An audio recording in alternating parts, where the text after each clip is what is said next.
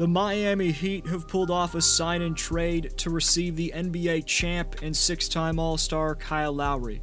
The greatest Raptor of all time is the most underrated player in basketball and was considered the biggest domino of the 2021 free agent class. Does Kyle Lowry make the Miami Heat contenders? Here's what fans in South Beach have in store for them. Before continuing, over three quarters of the people who watch this channel are not subscribed, so if you're looking for consistent NBA content, you're in the right place. Also, to be friends, follow me on Instagram at DFlowHoops. With Lowry going to the Heat, the 35 year old's legendary tenure as a Toronto Raptor has come to an end. First and foremost, as a Raptor fan, I just want to say thank you to Kyle for laying everything out there on the line, and I mean that literally. Lowry's been top 5 in charges drawn in every season since 2017 18. North Philly's finest isn't just about getting buckets and facilitating, the guy loves doing the dirty work. So, all around, I can say confidently to Miami Heat fans that you're acquiring a gem, not to mention a class act off the floor. Lowry's Holiday Assist was a program that Kyle ran every Christmas for underprivileged children in Toronto. On the court, he was the driving force behind the franchise, making seven straight playoff appearances. He's Toronto's franchise leader in steals, assists, and triple doubles, so as a die-hard fan of his for nearly a decade, thank you, K-Low. We'll miss you in Toronto. Having said that, I'm happy that Kyle's joining a team with championship expectations and a first class franchise like the Miami Heat. Not only did the Heat acquire Lowry in a sign and trade today, but they locked up Jimmy Butler for another four years and $184 million, setting up Jimmy to earn 50 million in 25 26 when he'll be 36 years old. For now, Butler's an incredible two way player, one of the best in basketball. He led the Heat into the NBA Finals less than a year ago but this past playoffs where the Heat were swept by the Bucks, the lack of ball handling around Jimmy started to bother him. Not to mention, the Heat made the finals before having the shortest offseason in NBA history, actually in sports history, so expect them to be a lot more refreshed next spring, especially because they'll have a floor general that the organization hasn't had in a very long time.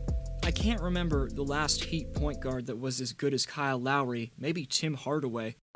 Oh, yes, yes, yes, Lowry's savvy playmaking, his ability to work his way through the heart of a defense off the dribble, along with his pull up three pointers, should mesh fluently next to the ISO scoring and pin down maneuvering of Jimmy Butler. Also, the pick and roll of Lowry and Bam Bam should be a sight to see.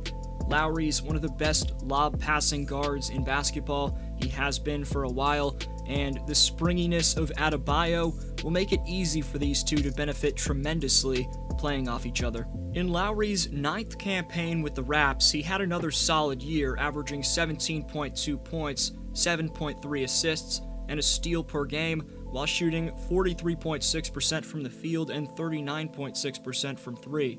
He appeared in just 46 games as he dealt with some injuries, and the Raptors struggled through a difficult 27 and 45 season. Norman Powell was traded to the Portland Trailblazers ahead of the 2021 trade deadline, and all signs pointed to a move surrounding Lowry being dealt to a contender as well, giving him the chance to pursue a title.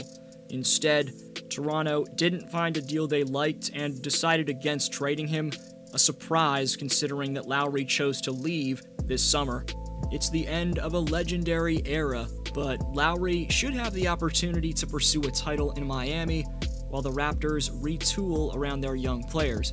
As I said yesterday, though, think this Raptors team is going to be decent next year. They'll be back in front of their home fans, and Scottie Barnes should help them out a lot. From Miami's perspective, though, Lowry's lateral quickness did slightly fall off last year, but his defense is still very solid, and his offense is all star caliber.